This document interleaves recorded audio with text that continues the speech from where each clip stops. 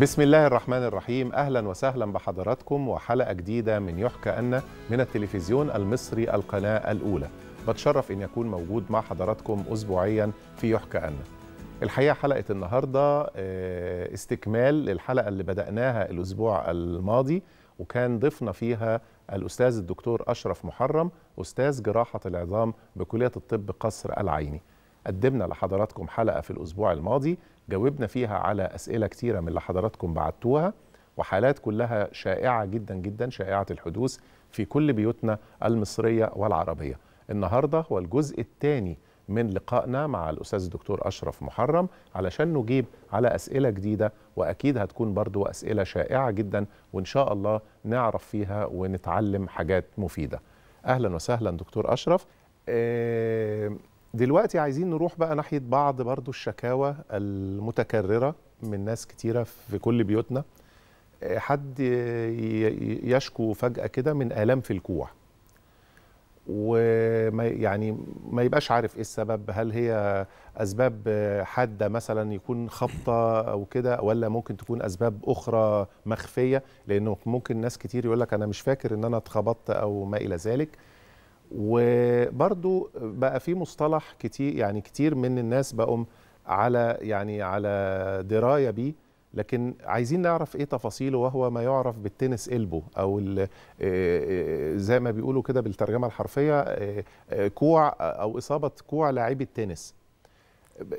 عايزين كده حضرتك تنورنا كده في موضوع الكوع ده. إيه إيه الأسباب وإيه يعني العلاج وطمنا أرجوك يعني. إن شاء الله الموضوع يعني آه منتشر ومش خطير بإذن الله.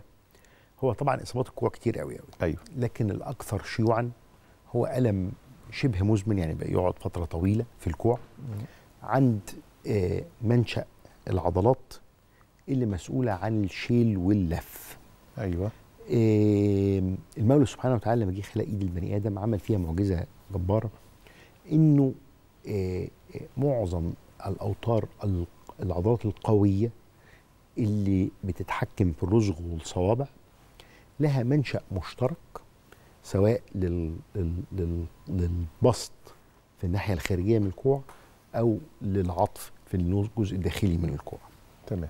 فالعضلات دي بتشتغل بتمسك في وتر قوي ماسك في العظمتين دول البروز الخارجي النتوء الخارجي للكوع والنتوء الداخلي للكوع بيسموا الخارجي ده تنس قلبه وبيسموا الداخلي ده جولفرز بتاع يلعبوا جولف يلعبوا جولف ما بنلعبش جولف كويس قوي يعني. تمام. اللي بيحصل إنه الإصابة في ال...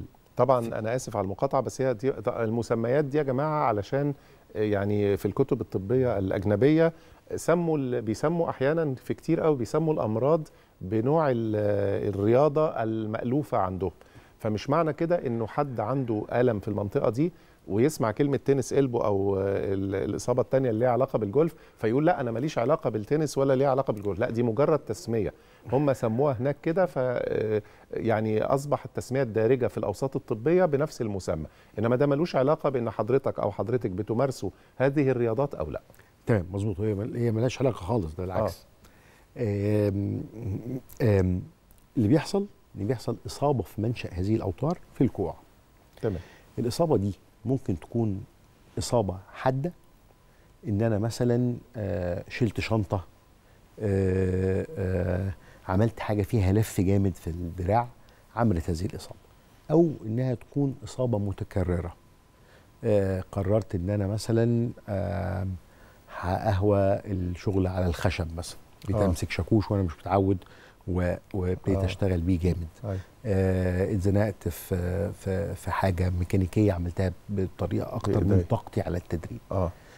فده بيعمل آلام في النتوء الخارجي للكوع أو النتوء الداخلي للكوع العظمه البارزه اللي تحت. أي. الموضوع ده طبعا في علاجه في الأساس إن إحنا نريح الكوع نريح الكوع يعني إيه ما نشيلش حاجة تقيلة ما نعملش حاجة فيها لف جامد بالدراع اكره معصلجه برطمان معصلج أي حاجة فيها لف جامد أو شيل تقيل في العموم على على الكوع. ومع الحياة اليومية آه سواء آه هنشتري حاجة من السوق هنعمل حاجة فيها شيل وحط شنطة آه، للشغل بروح بيها شنطة لابتوب ممكن أربط حاجة تحت الكوع ب 5 سم ربط خفيف في زمان كنا بنحط رباط ضاغط ولا زال بنحطه ساعات تحت مش على الكوع مباشرة لا تحت, تحت الكوع ب الكوع 5 بخمسة سم فوق بعضه زي شرط الكابتن تحت الكورة كده بس آه. مش هنا آه. حطها تحت الكوره آه. 5 سم أو في دعامات موجودة في بتوع المستشفيات الطبية بتتلبس على الحته دي عشان تقلل الضغط. ونعمل عليها تلج أو مية دافية اللي يريح أكتر يعني الفرق بينهم مش كبير قوي وندهن دهانات من اللي فيها آه، بتحسن الدورة الدموية زي اللي فيها نعناع وفيها زيت كافور والكلام ده. ده الأساس. بيطول شوية أو يزداد شوية في الناس اللي عندهم الأملاح ممكن تكون أعلى شوية من غيرهم لازم صحيح. الأملاح عالية مش عالية مم. وده خط الدفاع الأول مم. خط الدفاع الثاني لو ده ما جابش نتيجة العلاج الطبيعي مهم ومن ضمن الحاجات برضو المهمة آه، دكتور محمد إنه آه آه لازم أحاول إن أطول عض... مع العلاج الطبيعي يطول لي العضلات عشان أقلل ال... ال... الإصابة اللي بتحصل هنا. آه المرحلة الثالثه لو ما جابش ده نتيجة بنفكر في الحقن. زمان كنا نحقن كورتيزون دلوقتي بنحقن برضو البلازما. البلازما دي بتاخد من دم الواحد و... وبتخش في فلتره وتتحقن تاني في الكوع. ونسبة نجاحها في الحاجات دي عالية جدا. ونادر جدا ما يحتاج نعمل عملية صغيرة بالمنظار أو يعني عملية بالمنظار. نفك فيها الالتصاقات والالتهابات دي بالمنظار لكن في في في 99% من الأمور بتستجيب إن شاء الله للعلاج. إن شاء الله. حضرتك في حلقتنا السابقة يا دكتور أشرف آه، قلت لي آه، إحنا عايزين آه، نبيض وجه الكورتيزون شوية لأنه آه، في ناس كتيرة تمام. عندهم رعب من من مسمى الكورتيزون. ولهم حق. آه. لهم حق في إيه؟ آه برضو يعني آه كلهم أساتذتنا الكورتيزون في السبعينات آه. لغاية يمكن أواخر الثمانينات أوائل التسعينات كان في إسراف شديد في استخدام الكورتيزون. إسراف في استخدامه آه. صحيح. آه نتائجه كويسة بيجيب نتيجة كويسة بيريح العيان سريع على طول كمان آه. سريع. فكان ال ال ال ال ال ال ال في إسراف شديد في استخدام الكورتيزون. بالظبط. آه لو قابلت حضرتك آم، آه، لعيبة كانت مشهورة في السبعينات والثمانينات مش هقول آه. اسامي آه وتقول له أنت خدت كام حقنه كورتيزون وأنت بتلعب آه آه ما تتخضش لو حد قال لك 200 وحد قال لك 150 عشان كانوا يلحقوا 250. الماتش على طول آه. آه 250 فالاسراف ده أدى إلى إصابات okay مم. لكن في الح... في الحقيقة إنها بالذات في العظام لما نحقنها مرة أو مرتين أو maximum ثلاثة في المفصل أو في الغشاء بتاع المفصل وبالأنواع الأحدث من الكورتيزون اللي فيها كريستالات أقل وكلام زي كده آه، هي حاجة آمنة آه.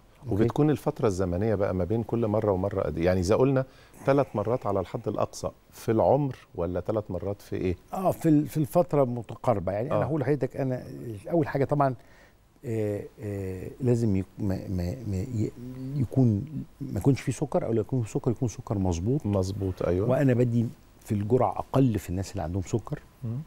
إنما لو أنا اديت حد حقنة كورتيزون فليقل في كوعه مثلا وجابت نتيجة كويسة واستريح آه آه آه سنتين ثلاثة أربعة ممكن أعيدها له بمنتهى الأريحية. آه. آه بس هي ممكن تستمر فعلا لهذه الفترة ولا بيكون التأثير شهور هو, هو فقط؟ برضه كويس إنك سألت سؤال. آه. هو إيه الهدف من حقنة الكورتيزون؟ الناس متخيلة إنها مسكن. آه. وده مش حقيقي. لا هي معالجة. هي معالجة ومضادة للالتهاب. أيوه. لكن وراها نسبة ارتجاع. آه. okay؟ آه. إحنا بنحقنها عشان نعالج المشكلة.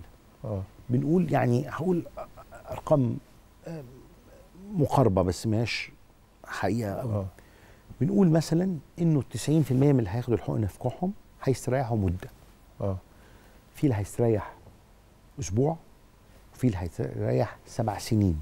يا أوكي؟ آه. وفي اللي هيست... وفي نص الناس دي هتستريح طول عمرها مش هتحتاج تاخد حقنه تانية. فعلا. آه. آه. ف آه، من غير دقة يعني بدقة محدودة نقدر نقول مثلا 90% هيستريحوا نصهم مش هيجي لهم الوجع تاني ونصهم هيجي لهم الوجع في فترة ما بين سبعة أيام لسبع سنين. تمام. لما نكون قرب للسبع سنين أنا متحمس ندي حقنة مرة تانية بالظبط أكيد. آمنة يعني. لكن اللي ما استريحش من أول حقنة صحيح. لما بجرب معاه تاني حقنة بقاش متحمس قوي آه. وأكيد مش هجرب معاه تالت حقنة لو ما استريحش من أول حقنتين صحيح. صحيح. يعني ده. المعيار بتاعنا رد آه. فعل الجسم. رد فعل الجسم. واستجابته لل- آه. للكورتيزون. لأن معظم الأمراض دي بيبقى فيها عاملين عامل ميكانيكي آه. وعامل التهابي. آه. الكورتيزون بي بيهاجم ال- بيعالج جدا العامل الالتهابي. لو العامل الالتهابي مش عالي والمشكلة الميكانيكية أعلى. فالكورتيزون مش هيفيد. صحيح. هو الحقيقة إن دكتور أشرف يا جماعة في في الحلقة دي والحلقة السابقة أنا يعني بقول كلمة حق يعني. غير الحقيقة الصورة النمطية آه، اللي عند ناس كتير جدا جدا عن آه، أطباء جراحة العظام أو آه، الاستشاريين جراحة العظام. لأنه زي ما قلت لكم في الحلقة السابقة في ناس كتيرة قوي بتخاف تروح للطبيب خشية أن يكون اختياره الأول والوحيد هو التدخل الجراحي. ومع أن التدخل الجراحي مع ال- الفئة المتمكنة وال وال والمالكة لأدوات العلاج بإذن الله تعالى بتكون خيار آمن جدا جدا. لكن دكتور أشرف الحقيقة عمال يشرح لنا في حلقتنا النهارده والحلقة السابقة أن هناك مسار علاجي طويل. الطبيب لازم ودي كلمة والله فعلا لإخواتنا وأصدقائنا وأبنائنا من الأطباء انكم لازم تمشوا في المسارات العلاجية بشكل آه، كلاسيكي وبشكل حقيقي لأن ده في مصلحة المرضى وده اللي بيطمن المريض ان هو يأمن للعلاج ويأمن لل- للطبيب. فأنا الحقيقة يعني بعيدا عن أي شيء أنا بشكر حضرتك على على هذا الأمر فقط إنه يعني إن حضرتك صححت لنا معلومات كتيرة جدا جدا عن إنه إنه ال- ال- العالم الكبير المتمكن زي حضرتك بيكون عنده أدوات من العلاج وليس وليس مسار واحد أو اختيار واحد. آه، نروح لموضوع تاني بعد موضوع ال- الكورتيزون آه، وموضوع يا الكوع. ريت بس أعقب لحظة واحدة. أرجوك. هي الجراحة أيوه. لن تنجح إلا لما تكون حقيقة مطلوبة. صحيح بالظبط كده. وتبقى مطلوبة لازم حجم الشكوى مم. تكون تستحق التدخل الجراحي. أيوه بالظبط. كده. وفشلنا في علاجها بأسباب أخرى. صحيح. لأن لأن مفيش حاجة في الدنيا نجاحها 100% صح. مفيش حاجة مضمونة 100% أنا مش ضامن انام في السياسة حتى اليوم الصبح. صح صح.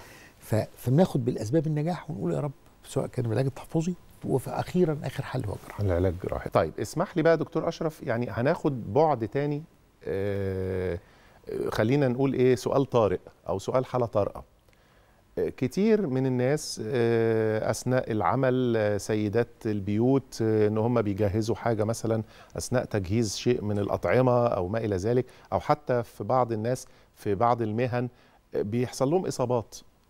الإصابة دي ممكن تبقى آه، ممكن يحسب فيها قطع عميق يعني وبيبقى فيه طبعا نزيف والكلام ده كله. ممكن يكون في قطع لا قدر الله في شرايين ممكن تكون قطع في أوتار صح كده؟ عايزين نعرف يعني ال ال آه، الفرق ما بين ده وما بين ده وأي حد لا قدر الله لا قدر الله حصل له حاجة زي كده آه، هيحس بإيه؟ وبناء عليه يتصرف إزاي؟ إلى يعني لحين التصرف الفوري بقى إن هو يذهب طبعا إلى وحدة الطوارئ في أقرب مستشفى. اسمح لي بس يعني إحنا قلنا السؤال آه، هناخد الإجابة بتاعتنا في في بعد الفاصل. هنطلع لفاصل دلوقتي ونرجع نكمل مع كلامنا مع حضراتكم. يحكى أن مازال متواصل. خليكم معانا.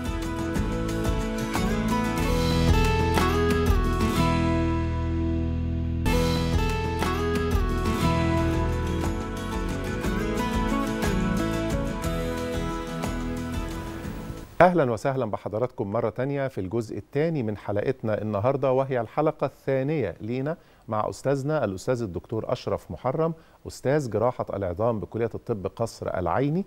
اتكلمنا في الجزء الأول عن حاجات كتيرة جدا مفيدة واتكلمنا في الحلقة السابقة, الحلقة السابقة كمان عن موضوعات كتيرة قوي. أنا بدعوكم بشكل شخصي أنكم ترجعوا لهذا المحتوى تحديدا على وسائل التواصل. هتستفيدوا جدا يا جماعة لأن إحنا سألنا الأسئلة ال- عن الحالات اللي بنمر بيها جميعا في كل بيوتنا في مصر والعالم العربي. ايا كان أعمارنا كبار صغار آه، آه، كبار مقام وسن أكبر مننا وهكذا. وكنا الحقيقة قبل الفاصل وقفنا عند آه، بعض الحالات الطارئة وقلنا ماذا لو لا قدر الله لا قدر الله حصل إصابة أدت إلى قطع طبعا بيبقى مصاحب ليها نزيف وما بنبقاش عارفين ده قطع في الشرايين ولا كمان في الأوتار. آه، المفروض هنحس بإيه؟ والمفروض نعمل إيه علشان نتلافى المضاعفات؟ قبل طبعا مفيش أي شك في إن إحنا علاج هذا الأمر بيكون في وحدات الطوارئ في المستشفيات. دكتور أشرف نتصرف إزاي في الحالة اللي زي كده؟ ومبدئيا هنشعر بإيه يعني؟ طيب هو الحالة الحادة لما بتعور ال- البني آدم سيدة فاضلة في م- في مطبخها بسكينة ولا في خناقة أو حد في الشارع بيبقى في مراحل. آه. المرحلة الأولانية ما بيبقاش تقريبا في ألم. آه.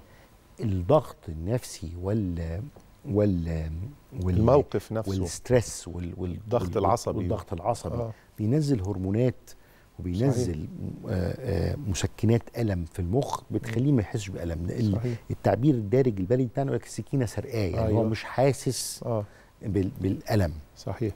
اللي بيلفت نظره في الأول هو النزيف مم. أوكي؟ وممكن فقدان الوظيفة. وده أول ما بيحصل لازم إن إحنا آه آه لو في تلوث أيوه. يعني مثلا آه الإصابة دي حصلت آه في الغيط في في في الشارع. المفروض إن إحنا نحاول مكان نغسل مكان عمل. مك- مكان يعني اماكن العمل أنا أقصد. مكان عمل زي مثلا جزارة زي آه. هو اللي بنخاف منه في الأساس آه. هي الحاجات اللي فيها مية آه مش آه مية مش مالحة. آه. أوكي؟ آه. طين آه مركب. آه, آه طبعا آه آه ده ميكروبات أكتر يعني بس والشارع وكذلك طبعا. يعني. طبعا فنغسل آه. بكمية من المية من الحنفية. آه. آه لازم غسل مكان الإصابة بشكل نغسل مكان الإصابة. جيد. ثم قطعة من من القماش بأي أيوة. شكل من الأشكال. أيوه. آه نظيفه أيوه. ونرب وبعد نحطها على الجرح أيوه. ونربطه. ونربطه. بالظبط. تمام؟ ده الإسعاف الأولي. وبالتالي هذا المشهد تحديدا عرض في وسائل يعني في أفلام سينمائية آه طبعاً. ومسلسلات طبعا وده بالنسبة لنا دليل كويس يعني دليل استخدام كويس هو مش دايما السينما آه طبعاً، مش دايماً السينما بتقدم حاجات بس صح، الحاجات دي بس. دي ربنا مظبوط. ستر وجت سليمة مظبوطة بالظبط مظبوط. كده ال ال ال- الإصابة الحادة دي ممكن تكون معورة أي حاجة من الاجزاء من هتعور الجلد في الأكيد طبعا. هتعور ال- الأنسجة ما تحت الجلد اللي ما بين ما بين ال- الجلد وال- والأنسجة العميقة. ممكن تعور وتر ممكن تعور تعور عصب ممكن تعور شريان. تمام. الفروق بقى ما بينهم في الأعراض في الإحساس يعني. ال ال ال ال الشريان مش هنحس بيه لكن. هنشوف هنشوف آه، نزيف نزيف. نزيف كبير قوي ونادر قوي ما الإيد تبيض من نتيجة شريان نظرا لأن معظم الحاجات الطرفية بيبقى لها أكتر من ال- الدم مش داخل من من أكتر من من إمداد دموي أكتر آه، من مصدر. أكتر من مصدر صحيح. لكن النزيف هيبقى في الشريان واضح جدا. ده بالنسبة للشرايين. آه. العصب أيوه. يدي في الأساس فقدان إحساس. آه. تمام؟ تمام. آه آه ده ممكن لو ن- من نسأل كويس والعين مركز معانا ما هوش مشدود قوي. ممكن نوصل من من مجرد إن إحنا ندور على الإحساس فقد فين أو أو مش موجود فين آه يدينا فكرة إيه اللي متعور من الأعصاب. أما الأوتار بيبقى في. فقدان حركي. فقدان للحركة. للحركة. آه. وإن كان في بعض الأوتار لا يمكن اكتشافها بالفحص التقليدي وعيان مجروح. تمام. آه مثلا الإبهام. مم. لو إصابة فيه والصباع بيتني فالوتر أكيد سليم. بس السليم دي هن- هنرجع فيها خطوة لورا سليم ده نسبيا يعني. نسبيا. at least في جزء كبير منه سليم. تمام. okay؟ لكن الصوابع آه. كل وتر الإبهام له وتر واحد بس بيتنيه آه. آه لكن الصوابع آه. لها وترين بيتنوها والوتر الأعمق أطول. آه. فممكن يبقى في إصابة هنا والصباع يتني بس الوتر ال- ال- السطحي آم، آم، متعور مقطوع آه. آه فلذلك آه القاعدة الطبية بتقول إن أي حاجة عميقة في إصابة عميقة في الدراع في أيوة. الكفة أيوه. لابد من تصليحها بمخدر عام ببنج يعني تخدير. أيوه. وفي أوضة العمليات. لازم داخل غرفه آه، العمل لأنه ال- الإيد دمويتها عالية جدا فإحنا لازم نستخدم جهاز يحبس الدم يحبس الدم عشان نقدر نتعرف على إيه المتصاب بالظبط لازم نغسل كويس جدا جدا. مم. ولازم يبقى عندنا تكبير يسمح لنا بإن إحنا نشوف الأعصاب والأوتار والش- والشرايين ونصلح الكلام ده. تمام. فهي زي ما اتفقنا نغسل نضغط على الدم ونغطي نروح المستشفى. أيوه. ولو حاجة سطحية ممكن تاخد غرزة في الطوارئ بس لو أي حاجة عميقة لازم آه. تخدير كامل جهاز يحبس الدم عن الدراع micro- آه، تكبير جراحي عشان نشوف ال- الطرف المصاب ونصلحه بإذن الله. إن شاء الله خير. طيب بمناسبة برضو الحالات الطارئة يا دكتور أشرف كتير قوي مننا بي بيشوف آه، بيحصل له عملية تشوش لما بيحصل مثلا إصابة في الشارع مثلا زي حوادث السيارات ربنا يعافي الجميع يعني. وبيبقى في اختلاف في الرأي يقول لك إيه مثلا إنه المريض ما يتحركش. وفي ناس يقولوا لا ده لو المريض ما لازم يحاول إن هو نشيء أو نحركه. إمتى؟ أنا طبعا بتكلم بشكل عام. إمتى اجمالا آه، لما بقى نتكلم بشكل متخصص في حالات العظام بقى تحديدا أو كسور العظام أو كسور. العظام في منطقة الحوض أو الفخذ أو ما إلى ذلك إمتى المريض يتحرك وإمتى ما يتحركش؟ يعني أنا بتكلم على إن الناس بتبقى قصدها المساعدة ولكن قد تسيء التصرف. فإيه برضو ال- النصايح كده أو ال ال ال زي ما بنقول الإسعافات الأولية بالمعرفة حتى نتصرف إزاي في حاجة زي كده؟ في العموم أيوه. المواضيع دي اتحسنت قوي من نهاية التسعينات. أيوه. ابتدت هيئة الإسعاف المصرية تبقى عندها آه، كوادر مدربة. تمام. وابتدت إنها تدرب بعض الناس في بعض المجالات لهذا الموضوع. أيوه. لكن ال- القاعدة هي كالآتي. أيوة.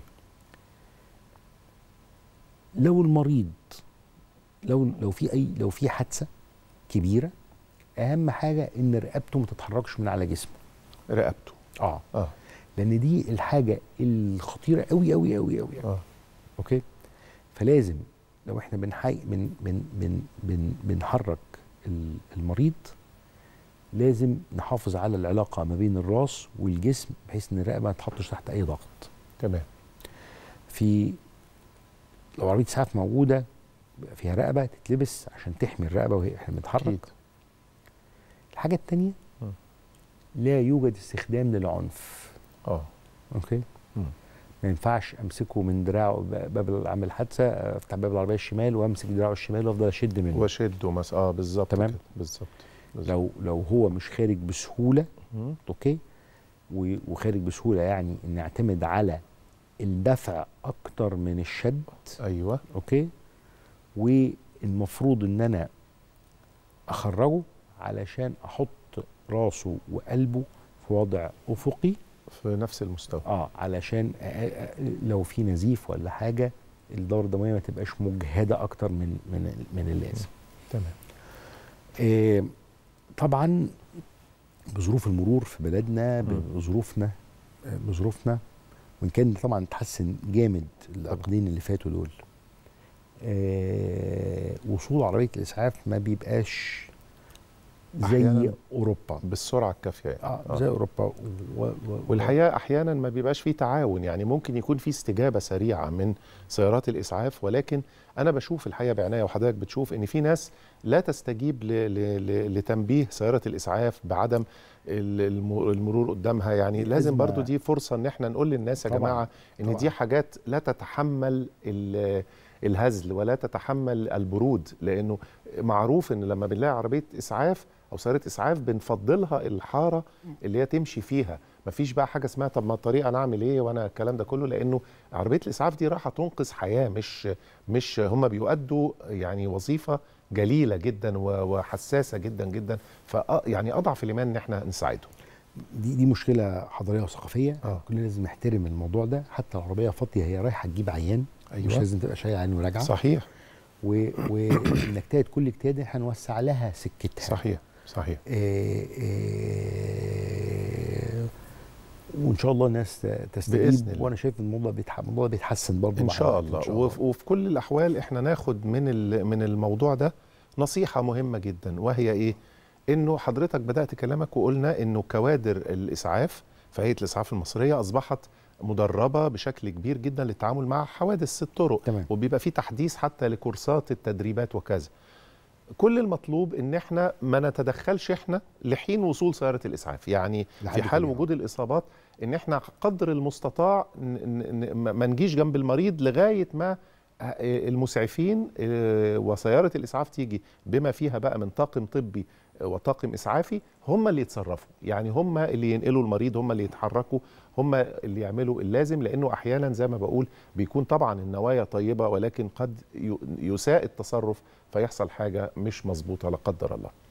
دكتور أشرف قبل ما نطلع للفصل الثاني عايز أسأل حضرتك بقى بعيدا عن الحالات الطارئة نهدى بقى وندخل على النوم. حالة آه، بتحصل كتير جدا جدا وبقت ناس كتيرة قوي تشتكي منها ويقولوا إيه أنا بقلق من النوم أو بصحى من النوم على كرامب على شد عضلي. وتحديدا ممكن يبقى في عضلة السمانة ممكن تبقى في العضلة الخلفية للفخذ أو ما إلى ذلك. هي معروف إن الحاجات دي كنا نقولها إيه ده نشوفها أو نسمع عنها في مباريات كرة القدم أو في المنافسات الرياضية. إنما حكاية التقلص العضلي اللي بيحصل أثناء النوم ده حاجة جديدة ومع هذا بتحصل لناس كتيرة قوي قوي تمام. فتسمح لنا حضرتك هنطلع لفاصل ونتلقى الإجابة من حضرتك بعد الفاصل. يحكى أن ما زال متواصل. خليكم معنا لو سمحت.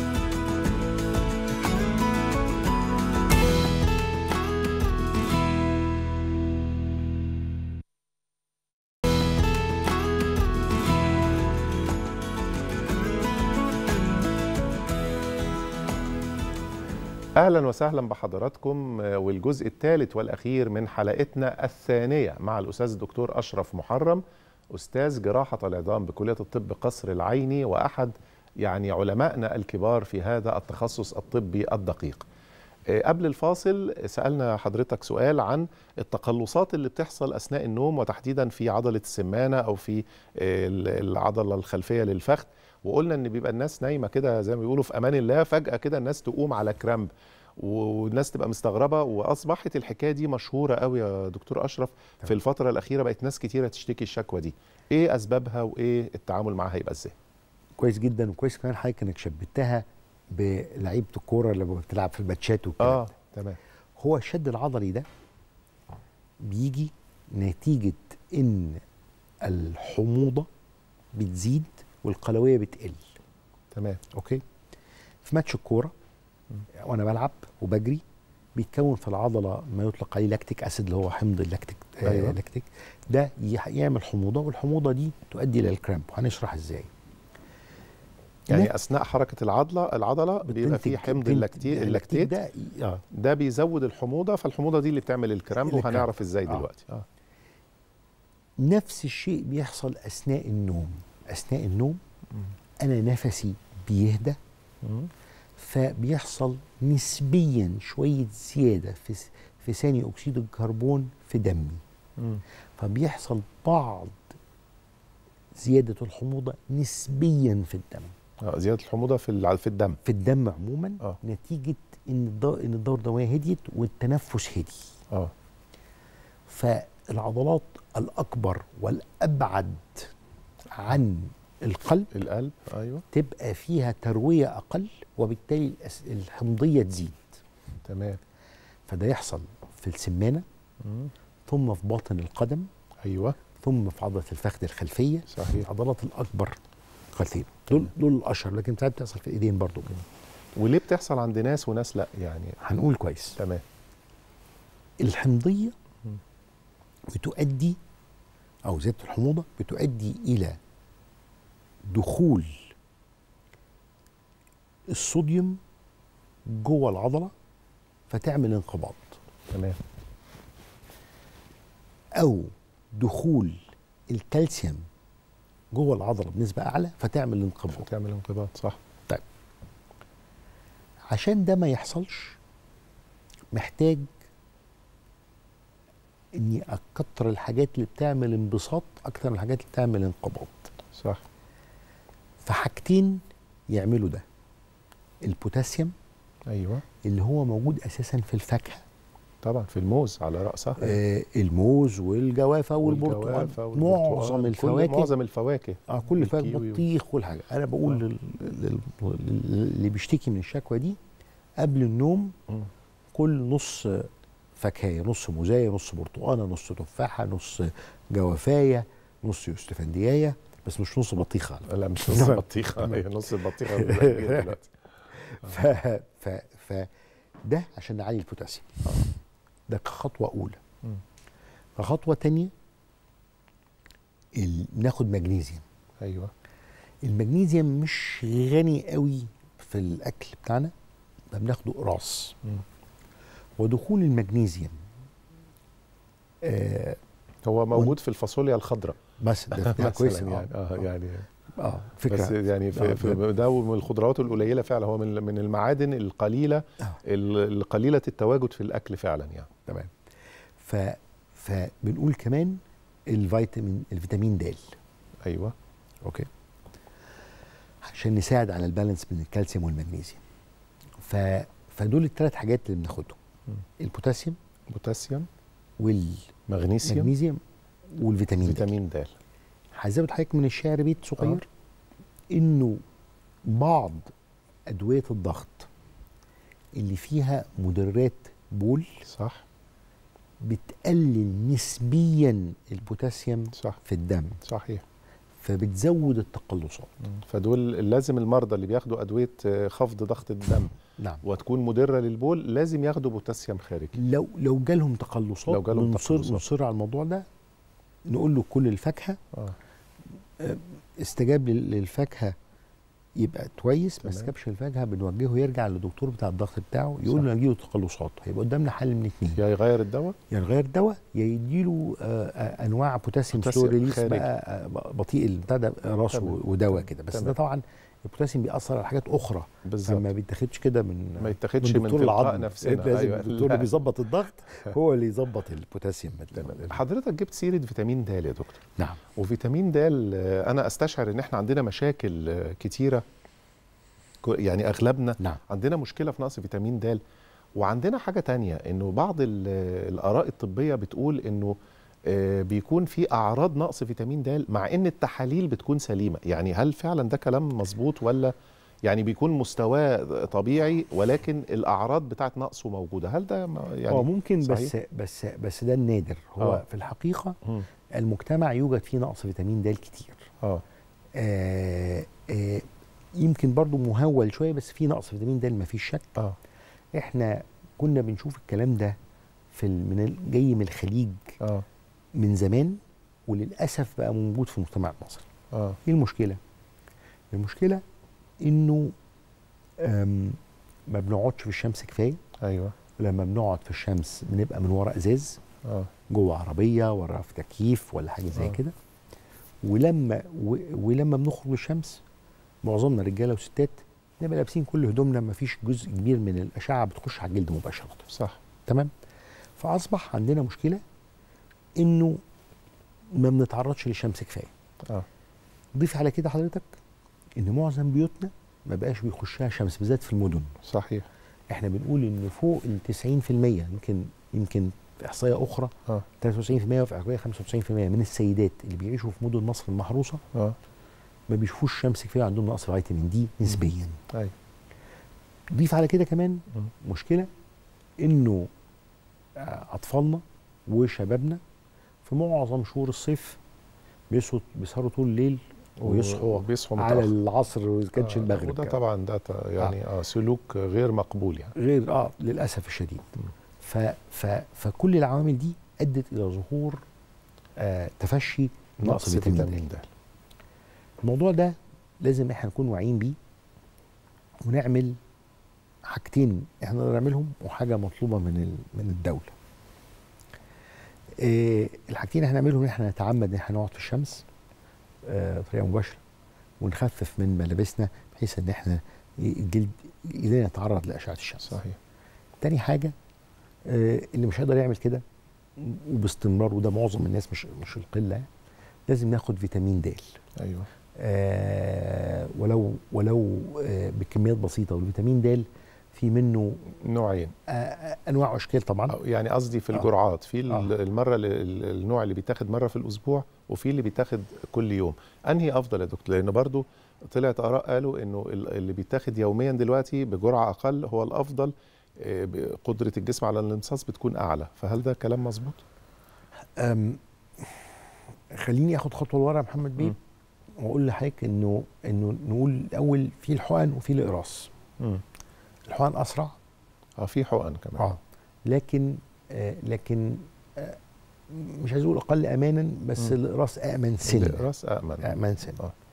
الاقراص في منها آه اسبوعيا وفي منها آه كل يوم. بصراحة. الامتصاص بتاعته الاسبوعيا بيشتغل بطريقة غير اللي بتشتغل كل يوم. كل يوم تعتمد على المستقبلات. آه. عدد المستقبلات المتاحة. عشان تمتص لكن اللي بتتاخد كل أسبوع أو كل شهر بتبقى عن طريق إنه بيزود ال- ال- التركيز جوه الامعاء فيتغاضى عن المستقبلات تمام آه آه الاثنين بيوصلوا نفس النتيجة بس في الناس اللي عندهم مشاكل أعمق اللي كل أسبوع أقوى بيكون بيكون يبقى اقوى أقوى مش آه. هستنى المستقبل آه. لكن آه آه آه آه آه في الحتة دي التحليل أنا ما بطلبوش كتير لكن الناس الكبار بنحاول ناخد 600 ألف وحده في السنة بغض النظر عن آه، إنه يتاخد اسبوعيا ولا اسبوعيا؟ شهريا أو حقن طيب دكتور أشرف إحنا آه، فاضل لنا آه، أربع أو خمس دقائق في الحلقة وعندنا يعني سؤالين عايز عايز أسألهم لحضرتك فأنا قلت لحضرتك المدة عشان نظبط ال- ال- الاجابه على قدها السؤال الأول هو عايزين نصيحة عن أفضل أوضاع الجلوس. تمام. علشان ال- الحكاية بقت دلوقتي في مشاكل كتيرة قوي في العمود الفقري وفي الفقرات وفي العضلات ليها علاقة بأوضاع الجلوس بتاعتنا. آه، دي حاجة. والحاجة التانية عايزين نعرف كده سريعا آخر المستحدثات في علاج أمراض العظام. فحضرتك كده يعني آه، اختار طيب. بقى وال- والكاميرا مع حضرتك. الجلوس مهم جدا. آه. و- ويمكن أفيد. آه. المولى سبحانه وتعالى آه مع الحضاره مم. الناس بقت بتقعد ساعات طويلة جدا ما كانش بيحصل زمان الكلام ده. آه آه. وبقت تمشي أقل. حضرتك للأسف لو شفت يوم مواطن آه عايش في المدينة آه. في الغالب ده حضرتك بيركب عربيته أو مواصلته أو أو صح. ويقعد على مكتبه ويقعد في بيته. آه وبيغير القنوات بال remote control يعني بالريموت أنا شايف آه. ال remote control ده من أسوأ الاختراعات اللي اتعملت. لأنه لا، أثر على العمود الفقري يعني آه. طب هو عشان الوقت ده مش هقول حاجة آه طب إنما الفكرة كالآتي بني آدم عشان يقعد صح لازم يرجع بالمقعدة لاخر الكرسي آه يفرد ظهره ويسنده لو في كرسي هندور عليه في البيت أو في العربيه يعني أنا كنت قاعد. غلط طول الحلقة آه، ده بنزعل. يبقى في مخدة ورا ظهر حضرتك عن من منطقه عند منطقة الحزام تحافظ على الظهر مفرود. قعدت مفرود ومسنود مش هقدر امشي اقعد كده شوية هلاقي نفسي قاعد عملت كده برضه أيوة، تاني. صح. اللي هيمنعني من اعمل كده ويخليني أقرب ده إن كل حاجة تتظبط على الوضع ده. يعني إيه تتظبط آه. على الوضع ده يا محمد؟ أنا لو قاعد على كمبيوتر شاشة الكمبيوتر لازم تعلى بحيث مستوى النظر بتاعي في نص تحتاني من تحت. صحيح. okay؟ أه. الحاجة الثانية آه ال keyboard ال mouse ما يبقاش هنا يبقى آه. بعيد عني. أه. لو هتفرج على التلفزيون حاجة عالية وقصادي. أه. لو همسك الموبايل أو الباد ما ينفعش يبقى هنا. آه. لازم هو يبقى مسنود.